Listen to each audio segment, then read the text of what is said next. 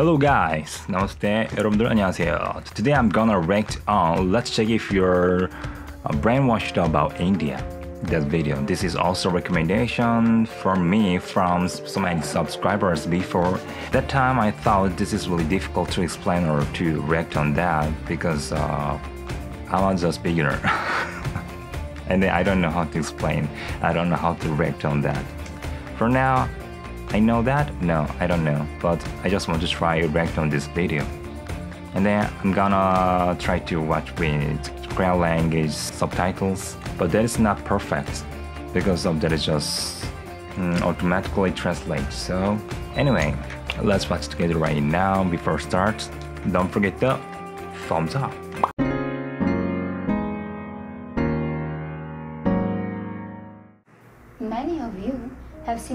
Of Indian origin in your country. How do you perceive them? And how do you perceive India? Many of you think of India as a country of poverty, slums, dirt, rapes, and caste system. And many of you got introduced to India through the famous movie Slumdog Millionaire. And then there are some of you who know India for its Bollywood and yoga. Hmm.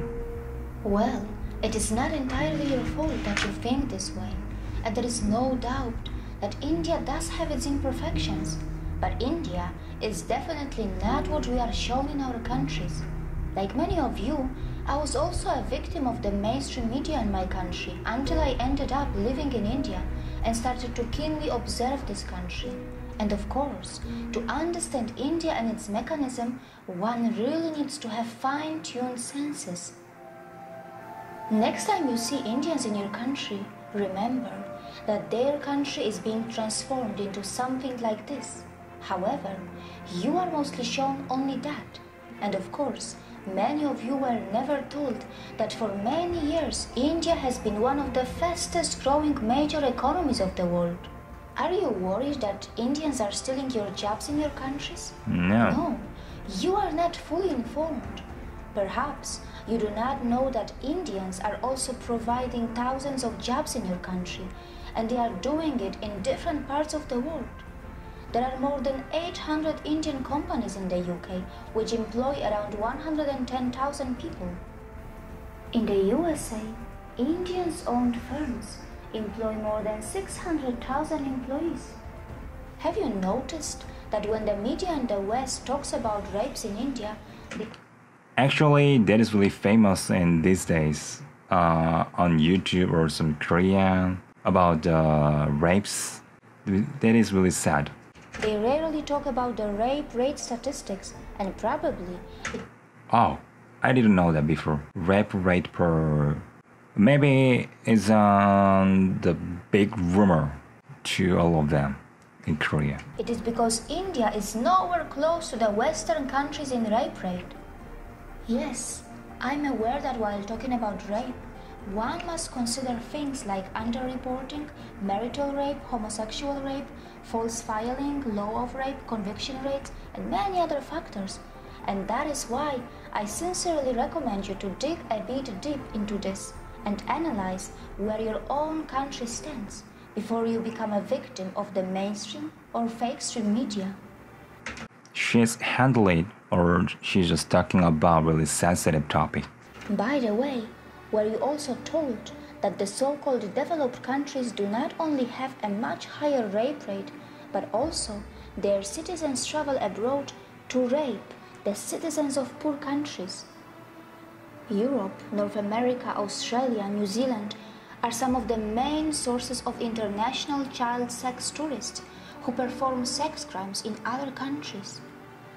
Were you also told that many Western women travel abroad to enjoy female sex tourism?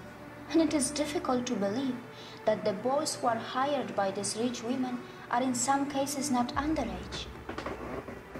India has always been a multicultural society, and yes, in one way or another, discrimination may exist in India too.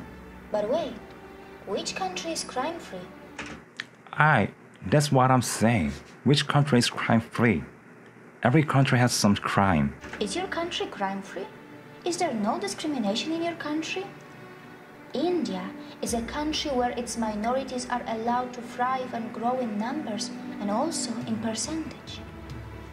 India is a country where many dharmic traditions like Jainism, Sikhism, Buddhism, and Hinduism were born, and the people of India have even accommodated the ideologies and religions that did not originate from their own land.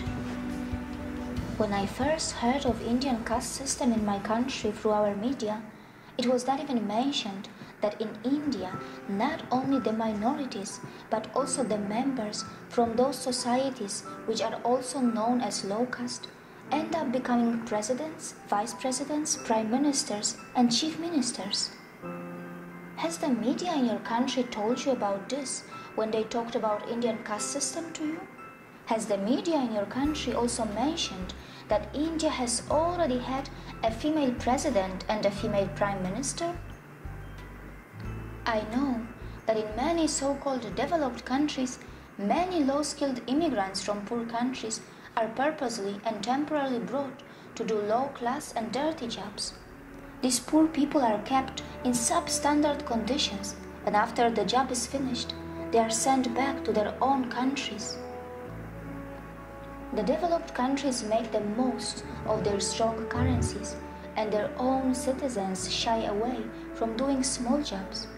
Well, these developed countries are so smart that they perform oppression on the humans that they import, and then later, very cleverly, they dispose them.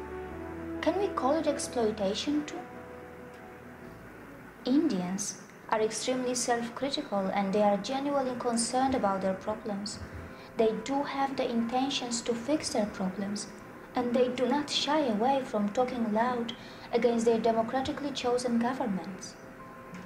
That is really healthy group.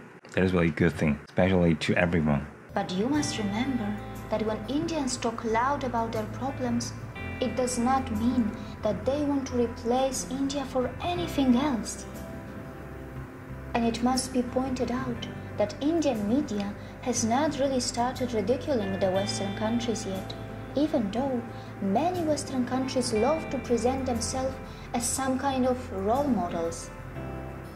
These Western countries continue to forget that they can also easily be ridiculed for their wealth inequality, crimes, intolerance, rapes, poverty, and even hunger. Perhaps Indians are more interested in self correction than ridiculing others. For sure, Indians know very well that tragedy is not a competition. Indians are not only providing jobs around the world, they are even feeding many hungry and poor outside India by their philanthropic work through their temples and gurudwaras. And very importantly, they are not expecting anyone to embrace Buddhism, Jainism, Sikhism, or Hinduism. That is really important, especially in Korea. Yeah, most of Christian want to change or want embrace to Christian from anything. So sometimes, sometimes that made me or made everyone feeling uncomfortable. So that is also very big problem in Korea. And then most of most of people, uh, I, I couldn't say like that. Some people feel have some feeling of bad or some negative about Christian. So that is really good thing. I just want to say. There is no doubt that India does need to improve its modern waste management infrastructure, as many of its streets continue to look dirty, even though an average Indian produces far lesser waste than an average American or European. Also, the per capita emissions from India are so low in comparison to the USA or China and Indians are nowhere close to the West when it comes to historical emissions. For all these years, you were told about the poor sanitation of India, but you were never told that Indians were also the pioneers in ancient sanitation system long before the Western countries got civilized. But of course, it shouldn't matter today. Even after 70 years of its independence, India is still not open defecation free. The government of India is running some massive scheme to build millions of toilets, and only time will tell if that is going to be enough or not? Actually, that is also that is also really famous uh, some topic in Korea because of uh, because of they just do business on outside. Actually, it is a problem, right? So this is uh, the the good thing is positive thing is, the government trying to solve this problem. So that is good thing. So we just so they just need a time, and then if they uh, if, if they solve this problem and then they have to make some video or some marketing about this like this video. That is i think that is also important. And then i'm also in joining like this video. So that's why i just try to react on this video isn't it? And then in future i will visit india and then i will show everything if i can. And at that time everyone can realize of india isn't it not many people know that when it comes to defecation, some citizens in the Western countries have a strange addiction, or rather, a disorder. And this is where a potential exchange can take place between India and the West. India can bring the latest sanitation system techniques from the West, and the West can benefit from the authentic yoga from India that can help those Western citizens who are suffering from such disorders or addictions. But of course, it can only happen if the Western societies are brave enough to address their embarrassing problems and not just sweep them under the rug, as it is very well known that such kind of disorders and addictions have been reflecting in the Western adult film industry as well. Not many people know that India has nuclear weapons, and it is said that India has the fourth strongest military in the world.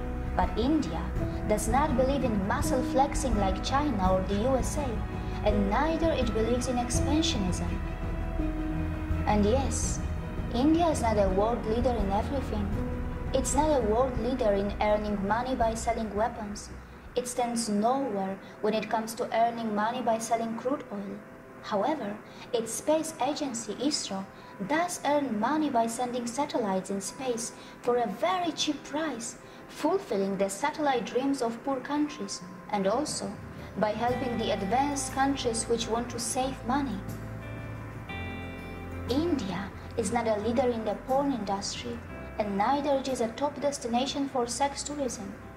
Mostly, Indians are just very simple and kind-hearted people and only some of them know that their land was the richest in the world for thousands of years, and it was gradually pushed into poverty as it was exploited, looted, and colonized by its invaders and colonizers. And these unfortunate victims who have just tasted their independence after centuries of oppression and atrocities are finally rebuilding their country in an extremely democratic environment that may slow down things a bit for them, but at least their system attempts to involve everyone in the rebuilding of their nation. The good news is that India's rise is unlikely to cause any country a demographic trouble, as India's dharmic institutions are not interested to convert you from your religions. Not just that, we are not really going to face any brown supremacy, even though Indians themselves come in all skin colors and hmm. features. It is also highly unlikely that Indians will hate you, even though many of you may have developed prejudices against them because of the mainstream media houses, which for some special reasons are overplaying and sensationalizing their problems. Indians are gentle, accommodating, compassionate, hospitable, and yes, they do not have a fake smile. Their smiles are still very real. And most importantly, they are forgiving. Look how they even welcome the people from the land of their ex colonizers in their country, even today. Before you comment on India, remember that the countries which were never colonized will not easily understand what it means to suffer from a post-colonial identity crisis. India may have its imperfections, and in this process of rebuilding, it will make its share of mistakes. and it will learn from them. Perhaps we also need to learn how to build a relation with Indians on equal terms, with mutual respect, without feeling superior or inferior, while focusing a bit more on ourselves to address our own embarrassing problems. See you again. Okay, most of things I agree that, and then especially uh, the last part. These days are different than before. The meaning is global, globalized, isn't it? So we could we can get every we can't get any information and uh, from anywhere. If we could some learn from them from any any country, absolutely we have to learn from that country or some culture or some habits or some technology, everything. I don't like normal normalize. So meanings if I go some place and then the people really some bad or some they just did some racism and so, so if I have some memory so and then I, I think they play that plays racism to me before so I don't like it. Or they always do that like that kind of some normalize. That is just person by person. Person make some country or some culture some mood. So I think this video is really nice. At least at least that they uh, the video just try to change change some image of India's uh, negative things and then even another another country. Even korea also have some negative image from foreigner. So i just want to change change some image even india. So i think this is first step. Thank you for recommendation this video. Most of times most of things i agree that it's really nice. Okay so it was my reaction. Let's check if you're brainwashed about india. And then it was nice video and i just want to try another reaction video if you guys like my video or channel, just click the subscribe button and then if you guys want to know about me more than YouTube, just follow my Insta ID. Thank you for watching my video. Have a nice day. Bye bye.